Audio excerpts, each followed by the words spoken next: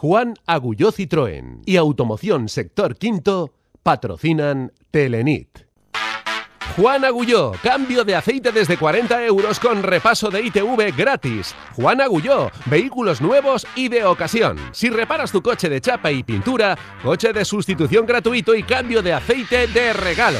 Y ahora Juan Agulló amplía sus servicios con Eurotaller, reparaciones multimarca, todos los vehículos y junto Rotonda Circunvalación Sur, Automoción Sector Quinto, compra, venta y reparación del automóvil.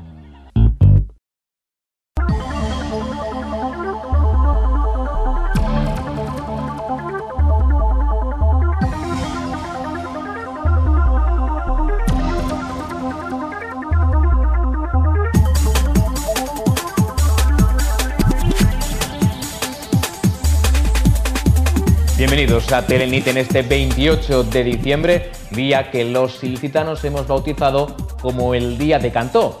Y es que a las 3 de la tarde el guardacostas ha realizado una veloz y elegante carrera para anunciar el hallazgo del Arca de la Virgen.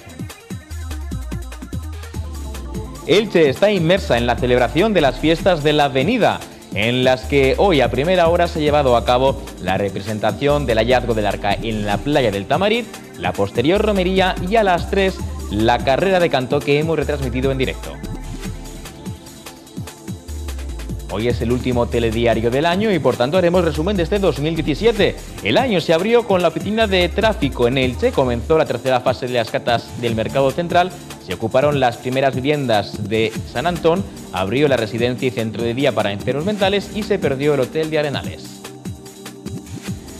Hoy ha estado en Elche la presidenta de los populares valencianos, Isabel Bonitz, para atribuir a su partido y a Pablo Ruz el mérito de haber logrado 119 millones de euros para conectar el aeropuerto y la estación del AVE de Matola con el tren de cercanías. Y en los deportes, la única oferta que llega al IVF para hacerse con el Elche es la de Sepulcre, ya que el empresario de Albacete, José Manuel Garrido, ha decidido en el último momento no pujar en la subasta. Mañana el IVF dirá si acepta o no la oferta del expresidente del Elche. Hoy es 28 de diciembre y finalmente el frío y el viento han respetado la romería de la Virgen. Pero ¿y mañana la procesión? Vicente Bordonado. Pues sí, efectivamente se han cumplido las previsiones. Hemos tenido una jornada prácticamente primaveral con temperaturas máximas en torno a los 23 grados, poco viento por la mañana y de hecho mañana tendremos una jornada similar a la de hoy o incluso todavía más estable con temperaturas más elevadas. Ampliamos toda la información meteorológica después del Telenit.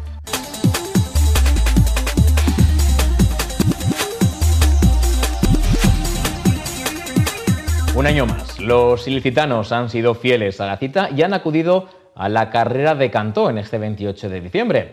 Pese a la rapidez, Francisco San Martín ha emocionado a galope de su caballo Luz 14, con el que ha recorrido la distancia que separa el huerto del Esportes en Garnaes del ayuntamiento. Así lo hemos vivido en directo en Teleelch. Emotiva y veloz, así ha sido la carrera de Cantó este 2017 para anunciar el hallazgo del Arca de la Virgen. Con el segundo toque de calendura ha sonado la potente bomba, que ha anunciado la salida de la carrera del legendario guardacostas. Por sexto año, Francisco San Martín ha sido el encargado de representar a Cantó y lo ha hecho a lomos de su caballo Luz 14. Su experiencia la ha valido para hacer una carrera elegante, ha emocionado al público que se ha congregado en el recorrido. Al grito de a la playa licitanos ha anunciado el hallazgo del Arca de la Virgen. Con la lectura del bando municipal de 1370 ha comenzado la romería hasta el Raval, en la que han participado las comisiones de fiestas, los heraldos y la corporación municipal. ¡A la playa Ilicitán! Como han visto, Francisco San Martín, cantó, ha sido recibido a las puertas del arco del ayuntamiento, donde el alcalde y miembros de la corporación le han saludado. Ha destacado que pese a ser el sexto año, ha sido igual de emocionante que en los años anteriores. También ha destacado el momento de la representación esta mañana en la playa como uno de los años más emotivos que recuerda. Bueno, la verdad es que muy bonita, han sido nuevas sensaciones porque seis años por dos minutos, una media son 12 minutos de, de vértigo total, pero eh, yo tenía ganas de no, sea, no caerme como ningún año, que, es lo principal, que no pase nada y que sea una carrera rápida y, la verdad es que muy bonita, con muchísima gente. Cada año creo que veo más gente o ya son los mis ojos que parece que, que vean cada vez más gente, como comento. Por primera vez, el alcalde y toda la corporación municipal han esperado a Cantó a las puertas del arco del ayuntamiento y no en el despacho de alcaldía. Como invitada ha estado, ha estado presente la directora general de Patrimonio de la Generalitat para asistir a unas fiestas que acaban de ser declaradas bien de interés cultural. Antiguo según la leyenda, Cantó corre hasta el ayuntamiento para anunciar el hallazgo del arca. Allí le recibió el Concejo Antiguo, que hoy sería la corporación municipal. Por eso hoy en día la carrera de Cantó acaba en el despacho de alcaldía, donde actualmente se realiza un brindis en honor a las fiestas de la avenida. El alcalde ha destacado además que es un año especial por la declaración de bien de interés cultural. Y además tenemos que felicitarnos por esa doble declaración. Primero en el mes de febrero como fiesta de interés turístico autonómico y ahora en el mes de diciembre como bien de interés cultural inmaterial. Dos declaraciones que por una parte dan más protección y por otra parte dan más proyección a las fiestas de la Vinguda. Tengo que agradecer no solo la presencia de la directora general de Cultura y Patrimonio en nuestra ciudad, sino la implicación y la dedicación de la propia directora general, Calmera Moraga, y de su equipo de trabajo para que la declaración de eh, bien de interés cultural inmaterial se haya producido en un tiempo récord. Este año la directora general de Patrimonio no ha querido perderse esta fiesta ilicitana que es de interés autonómico. Yo quiero felicitar a la ciudad de Els, ¿no? a todos los ilicitanos e ilicitanas que son capaces de vivir, de sentir, de conservar y de hacernos proteger a todos lo, lo que es de todos. ¿no? Y luego personalmente yo lo he vivido con muchísima emoción, ¿no? Es, ha sido una fiesta, ha sido una carrera muy, muy emocionante por, por, la carrera en sí, pero sobre todo por la, por la implicación de toda la ciudad. ¿no? Por su parte, el presidente de la Avenida ha felicitado a todo el pueblo de Elche por la reciente declaración de bien de interés cultural, que supone mayor protección y difusión para las fiestas. Bueno, ahora seguir trabajando por la difusión para que cada vez se conozca más la fiesta y cada vez la gente se acerque más a, a nuestra patrona, a la Virgen de la Asunción, que en definitiva es el objetivo de la Sociedad Avenida de la Virgen, celebrar esta fiesta en honor de la Virgen de la Asunción. Ahora las fiestas continuarán con la procesión, este día 29, que es festivo aperturable en el que la patrona recorrerá las calles del centro. Eso ha sido a mediodía, lo hemos vivido en directo en Delels, pero es que esta mañana a las 7 se ha representado el hallazgo de la Virgen por parte del legendario guardacostas en la playa del Tamarit. Cientos de ilicitanos han madrugado y se han acercado para no perder detalle de esta histórica tradición. El buen tiempo ha acompañado ya que no ha hecho tanto frío como el año pasado, lo que ha favorecido la participación en la romería. Allí, a pie de playa, ha estado nuestro compañero Daniel González.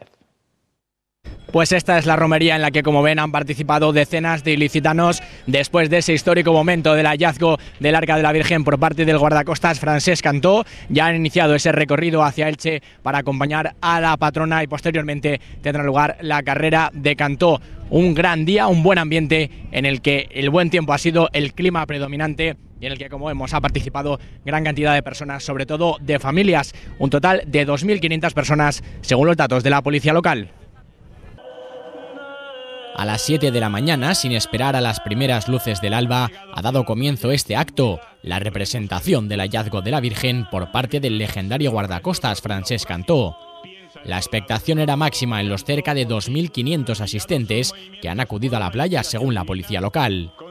Entre ellos se encontraba el alcalde y varios concejales de la corporación municipal, así como miembros de la Sociedad Venida de la Virgen. El momento más emotivo ha sido cuando cantó Allá va el arca y caía de rodillas frente a la imagen de la patrona, la Virgen de la Asunción, tras lo cual ha gritado los tradicionales Visca la Mare Deu, Visca la Virgen de la Asunción. Tras finalizar el acto ha tenido lugar la solemne misa de campaña oficiada por José Moya, vicario de Santa María. A continuación se ha iniciado la romería, donde los ilicitanos han acompañado a la patrona portada por el carro de los bueyes en su camino hacia Elche. Voluntarios de Día y Protección Civil han participado en el dispositivo de seguridad junto a la policía local. Como es costumbre, se ha realizado una parada para degustar el almuerzo de Cabaset a la altura de Río Safari. Ha sido un día de fiesta, pero sobre todo de fe y devoción hacia la Virgen, que un año más ha contado con el apoyo de todo el pueblo ilicitano para mantener viva esta tradición. Mañana se cerrarán estas fiestas de la avenida con la tradicional procesión de la Virgen sobre el tono del San.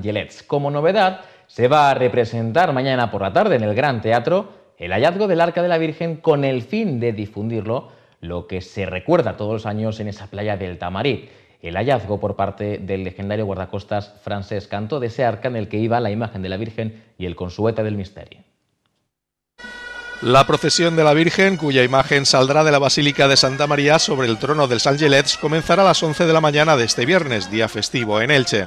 Una traca aérea se disparará para anunciar el recorrido de esta procesión, tras la cual se celebrará la misa solemne presidida por el obispo de Menorca, el ilicitano Francisco Conesa, y en la que participará la Escolanía del Misteri. Al término de la misma se lanzará una mascleta en el puente de Altamira. Y por la tarde, a las 7, en el Gran Teatro se representará por primera vez la obra de teatro Soperaeli 1370, con el fin de acercar a quienes no hayan podido acudir a la playa del Tamarit el hallazgo de la Virgen. Mañana, en ese festivo aperturable del 29 de diciembre, como es tradicional, la Asociación de Belenistas de Elche va a aprovechar para entregar en el Centro de Congresos los premios del concurso de Belenes, que este año cumple su 30 edición. La Asociación de Belenistas, con el fin de promocionar y conservar la tradición de elaborar el Belén de Navidad, realiza cursos y el concurso, que ya va por su 30 edición. Este viernes a las 12 del mediodía en el Centro de Congresos se entregarán los premios a los ganadores en esta edición. En la categoría de belenes monumentales particulares, Noah, Francisco y Víctor han sido los ganadores. En el de bíblicos, Pepito Maciá se ha alzado con el primer premio. Al igual que la familia Pérez y Sogor, en la categoría Belenes Populares, y en infantil, Pedro Molina. En cuanto a empresas y parroquias, los ganadores han sido las religiosas de las Clarisas y el Colegio Jesuitinas. Se cerrarán así las fiestas de la Avenida de la Virgen y ya estaremos de cara a Nochevieja. Un año más, el ayuntamiento ha organizado una gran fiesta para despedir el año y dar la bienvenida al 2018 y de nuevo la Plaza de Baix será el escenario de esta fiesta en la que Teleelch dará las campanadas de calendura en directo con la reina de las fiestas de este año, Laura Pomares. La fiesta en la Plaza de Baix comenzará a las once y media de la noche y se prolongará hasta las 4 de la madrugada. Las campanadas podrán ser seguidas por las pantallas gigantes que se colocarán en la plaza, donde no faltará la lluvia de confetis y los fuegos artificiales. Teleelch volveremos a retransmitir las campanadas de calendura. Conectaremos con nuestro compañero Salvador Campello a las 12 menos cuarto, quien estará acompañado por la reina de las fiestas de este año, Laura Pomares. Ambos serán los encargados de despedir el año y dar la bienvenida a 2018, desde Teleelch y desde el mismo corazón de la ciudad. Por otro lado, el ayuntamiento, además de la fiesta en la Plaza de Baix, ha preparado un dispositivo de seguridad para garantizar una Nochevieja tranquila y sin incidentes. Y nosotros desde Teleelch hemos estado atentos a la vieja maquinaria de calendura, cuyo relojero se ha ocupado a conciencia para que nada falle el 31 de diciembre. Recuerden, les esperamos en directo este 31 de diciembre a las 12 menos cuarto desde la Plaza de Baix. Bueno, hoy no solamente han estado presentes las fiestas de la Avenida de la Virgen, también ha habido actualidad municipal en el ámbito político. Y es que hoy ha estado en Elche la presidenta del PP de la Comunidad Valenciana, Isabel Bonich, para hablar sobre ese plan que conectará el aeropuerto y la estación del AVE de Matola con la red de cercanías. Asegura que esa inversión se ha conseguido gracias al trabajo del PP de la comunidad y de Pablo Ruz a nivel local, ante la falta de ambición, dice, del alcalde de Elche. Isabel Bonich asegura que el plan de modernización del Cercanías, que incluye inversiones en Elche por valor de 124 millones, no ha sido un logro de Chimopuch ni del alcalde, sino del presidente del PP de Elche por las reuniones mantenidas en Madrid con el secretario de Estado. Ha asegurado que este plan incluye plazos hasta 2025 y contempla partidas económicas concretas. Porque esto no ha sido por voluntad, insisto, del presidente Puig, que no ha reclamado ni una sola vez esto. Esto ha sido porque el Partido Popular se ha preocupado. Incluso el Partido Popular de Elche ha asumido la dejación que ha hecho el alcalde de Elche. Desde el Partido Popular han criticado además la decisión del Consejo de no emitir corrida de toros en la nueva televisión pública valenciana. Bonich considera que es una forma de censura y teme que si siguen en esta línea, lo siguiente será prohibir el misteri por su carácter religioso. Me parece inaudito, de una falta de libertad, de un sectarismo brutal, que la televisión que vamos a pagar entre todos los valencianos y que nos cuesta este año la friolera de 55 millones de euros, solo sea Teleoltra para enchufar a los suyos y encima alguien decide, alguien divino, que se dan las fiestas populares y tradicionales donde no entran las fiestas taurinas. Lo siguiente que va a ser prohibir el Misteri d'Elx porque es religioso. Por último, los populares lamentan que el gobierno valenciano haya desestimado todas las enmiendas que presentaron a los presupuestos y que hubieran supuesto una inversión de 10 millones de euros para Elche. El por Elche ha denunciado demoras de hasta 13 días en las citas con el pediatra en atención primaria. Fernando Dura ha criticado que la falta de sustituciones en atención primaria ha provocado durante estas vacaciones demoras en las citas médicas de los centros de salud y ha achacado la situación generada a la falta de compromiso por parte de la Consellería de Sanidad para dar una solución a esta situación.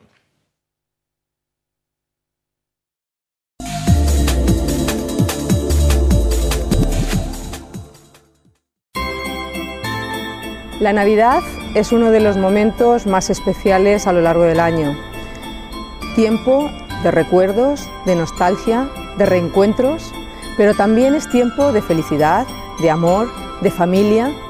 Deseo a todos los ilicitanos e ilicitanas una feliz Navidad y un próspero Año Nuevo 2018.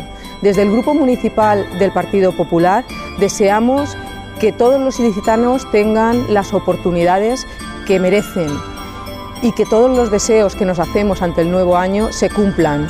Seguiremos trabajando para conseguir un Elche mejor, un Elche en el que se quiera vivir, un Elche en que merezca la pena trabajar. Por eso, hoy y siempre os deseamos que seáis felices. Feliz Navidad. El año pasado dimos la campanada Cambiamos la Puerta del Sol por la Plaza de Baix. Y este año lo volvemos a hacer. No oigo la plaza, no oigo esa emoción. Ahí, ahí, ahí está la Plaza de Baix. Esta noche vieja, en directo, desde la Plaza de Baix, Campanadas con Calendura, con Salvador Campello y Laura Pomares. Campanadas 2018 en Teleelch.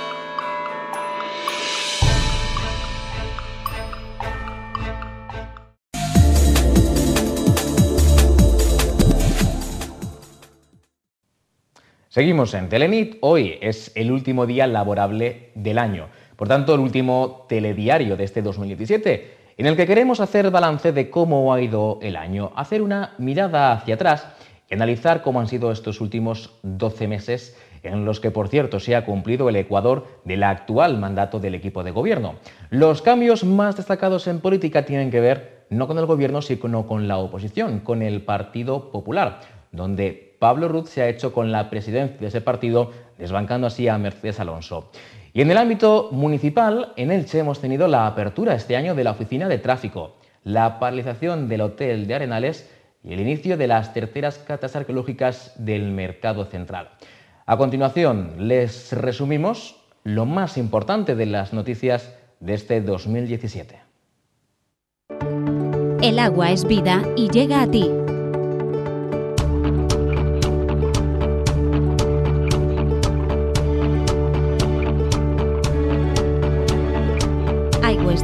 Patrocina esta noticia. El Partido Popular celebró sus elecciones presidenciales en julio y las ganó Pablo Ruz por goleada. Como presidente del Partido Popular intentó desbancar a Mercedes Alonso y a los suyos de la portavocía del grupo municipal del PP, pero sin éxito. lo que provocó la dimisión de Martínez Pujalte como concejal y su sustitución por el siguiente en la lista, María Teresa Mendiola. Con el grupo mayoritario de la oposición dividido, el tripartito volvió a sacar adelante los presupuestos de 2018, con el apoyo de Ciudadanos, y con una rebaja del impuesto de vehículos del 7% y del impuesto de construcción del 10%. Este año no cayó el gordo de la lotería en Elche, pero sí una lluvia de millones de los fondos europeos para proyectos sostenibles en la ciudad y emprendedores en sus pedanías. El paro no castigó excesivamente a la ciudad. Comenzamos con algo más de 27.000 parados y en noviembre la lista era de algo más de 25.000. A pesar del descenso, preocupa la gran cantidad de contratos temporales y a tiempo parcial que se realizan. En cuanto a inversiones, el año comienza con la apertura de la oficina de tráfico y acabó con el anuncio del Ministerio de conectar el aeropuerto y la estación del AVE al tren de cercanías.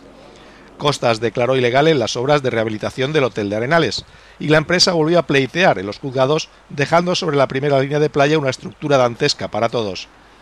En noviembre comenzó la tercera fase de las excavaciones arqueológicas del mercado y las nuevas viviendas de San Antón comenzaron a ocuparse por los vecinos del barrio se han expuesto al público el polémico Plan de Acción Territorial del Litoral, el Patibel, y la Ley de Protección del Palmeral. El Instituto Tecnológico de la Palmera comienza a funcionar en manos de una empresa privada y el centro de día y la residencia de enfermos mentales se inauguró en diciembre, respondiendo así a una reclamación histórica.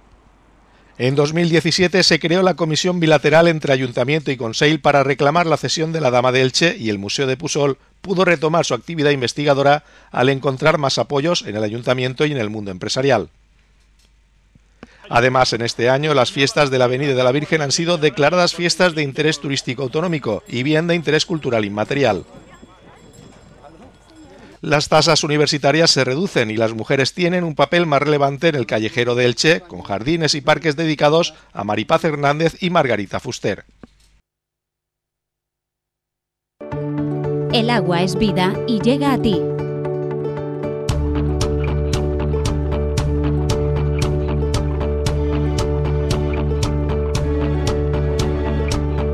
Delch ha patrocinado esta noticia.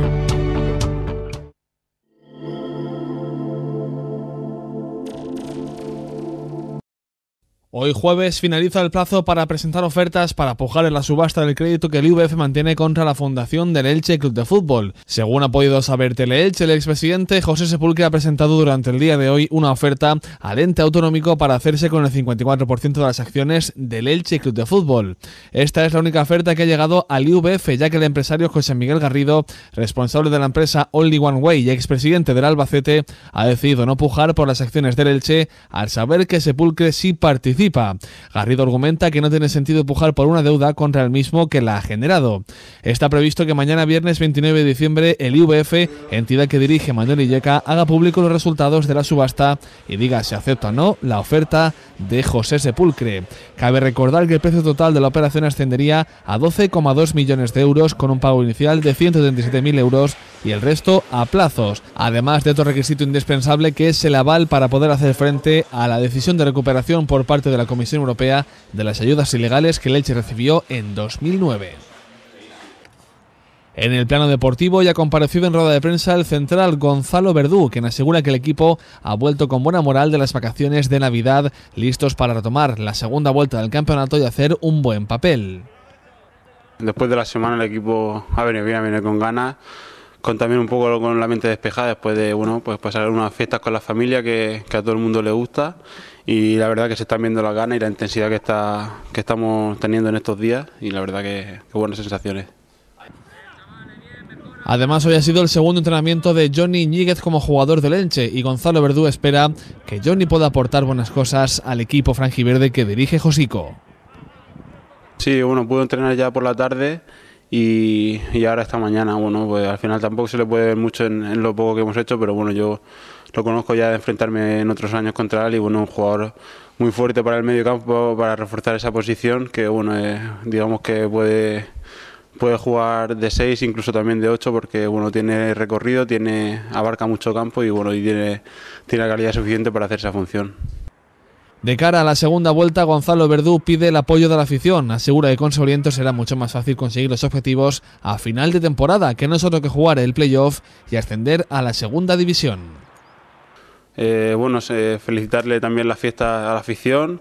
eh, nada, que sigan creyendo en nosotros, que, que, nos apoyen, que vengan a animarnos porque nos va a hacer falta, porque ascender a segunda división es muy, muy complicado. Llevo muchos años intentándolo y es muy difícil. Eh, hay otros años, como el año pasado, me he quedado muy cerca. Y, bueno, eh, todo está muy igualado. Al final, luego son tres eliminatorias. Si no entras como primero, es muy difícil. Y bueno, lo vamos a necesitar. Creo que tenemos una de las aficiones más grandes de toda la segunda B, incluso de equipos de, segunda y yo creo que, se, van a, se va a notar. Al final, esa gente en un playoff que, se metan aquí 20.000 personas se, se nota y nos va a ayudar, sin duda. El Elche entrena mañana viernes en sesión matinal y el sábado a las 11 de la mañana juega en Campo Amor un amistoso ante el Cercle Bruges, equipo de la segunda división belga, en el que juega el ex franjiverde Héctor Rodas.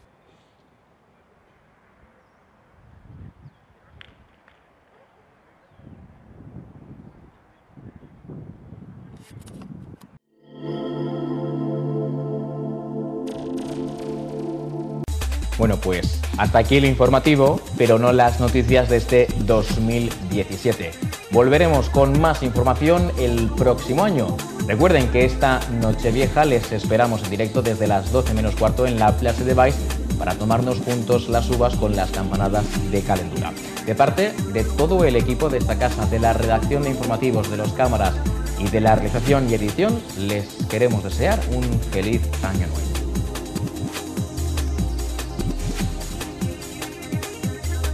Juan Agulló Citroën y Automoción Sector Quinto patrocinan Telenit. Juan Agulló, cambio de aceite desde 40 euros con repaso de ITV gratis. Juan Agulló, vehículos nuevos y de ocasión. Si reparas tu coche de chapa y pintura, coche de sustitución gratuito y cambio de aceite de regalo.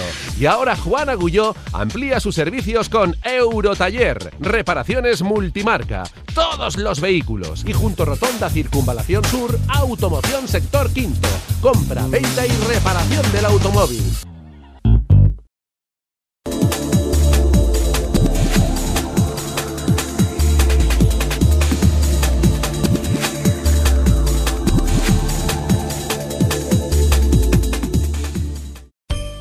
Tokyo Garden, auténtica comida asiática, con buffet libre para adultos desde 9,95 y los niños solo 6,95.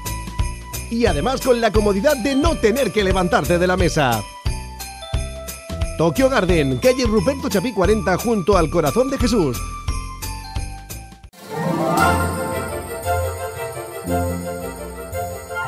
Que la celebración de estas fiestas sea el comienzo de una vida mejor. Feliz Navidad y próspero Año Nuevo.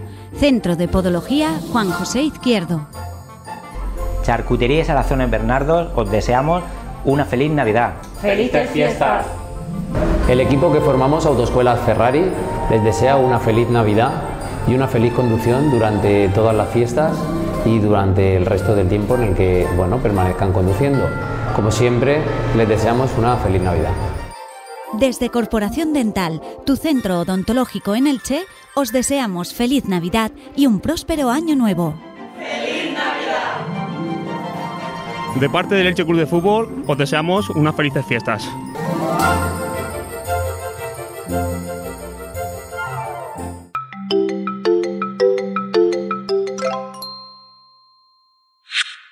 RC Estadio, el mejor salón de juegos y apuestas de Elche, patrocina la noticia de mayo de 2013.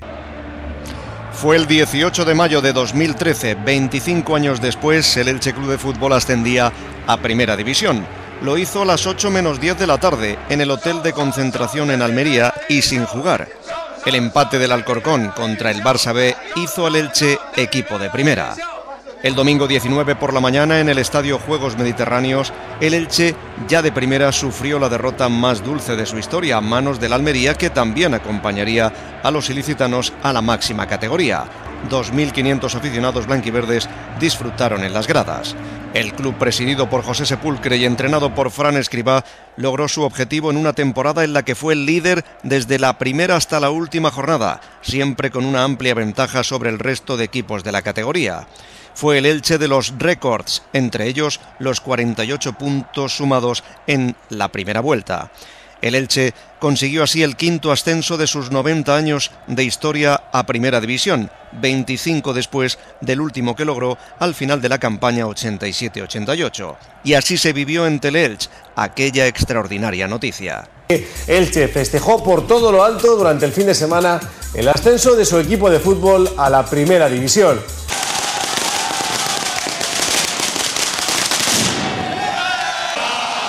Más de 10.000 personas se dieron cita el sábado a partir de las 8 de la tarde en la Glorieta para celebrar que el Elche estaba matemáticamente en la división de honor. Los aficionados se bañaron en la Glorieta, ondearon las banderas franjiverdes, lanzaron cohetes, tracas y bengalas. Los cánticos se sucedían y la alegría estallaba en la multitud. Los jugadores del Elche Club de Fútbol subieron al autobús descubierto en el Parque Comarcal de Bomberos para recorrer diversos barrios y calles de la ciudad, el sector Quinto, Carrús, Toscar, Avenida de la Libertad, Paseo de la Estación, para llegar al ayuntamiento, donde fueron recibidos por las autoridades municipales. La alcaldesa y el presidente del club fueron los primeros en saludar a los campeones cuando bajaron del autobús. Toda la plantilla subió al ayuntamiento, firmaron en el libro de honor y saludaron a la afición desde el balcón principal de la casa consistorial. Más de 35.000 personas salieron a la calle para recibirlos como héroes. El recorrido continuó. Hubo otra parada en la glorieta para finalizar en el estadio Martínez Valero. Allí se desató la alegría, se celebró la fiesta del ascenso con recuerdos de los históricos que hicieron posible otros ascensos, con los jugadores de la cantera, con música, color, luz y sonido. El discurso más aplaudido fue el del primer capitán, David Generelo. El más coreado, el del entrenador, Fran Escribá, el que ha hecho posible el ascenso. La multitud le gritó durante su discurso, Mister, quédate.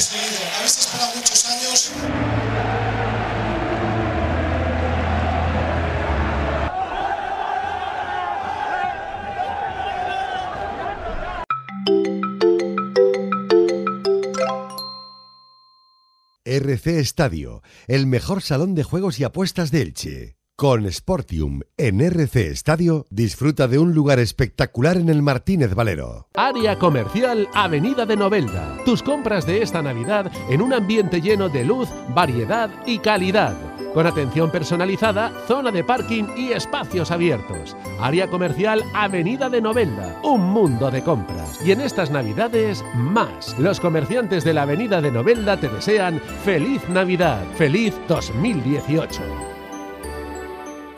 Vacaciones, fines de semana, escapadas de ensueño. En la Marina Resort, más servicios, más diversión para que disfrutes de tu tiempo de ocio. Salas de masaje, centros de spa y gimnasio, totalmente equipados para cuidar de tu cuerpo y mente. Bungalows con todo lo necesario para sentirte como en casa. Quédate en la Marina Resort y pasa momentos irrepetibles durante todo el año. La Marina Resort, junto a la playa de la Marina, a 5 minutos de Elche. Abre los ojos, con el aire bueno de LG como en casa en ningún sitio. Y todo consumiendo lo mínimo. LG junto con ProInter, tu empresa instaladora de climatización y energías renovables. Ven, te asesoramos bien.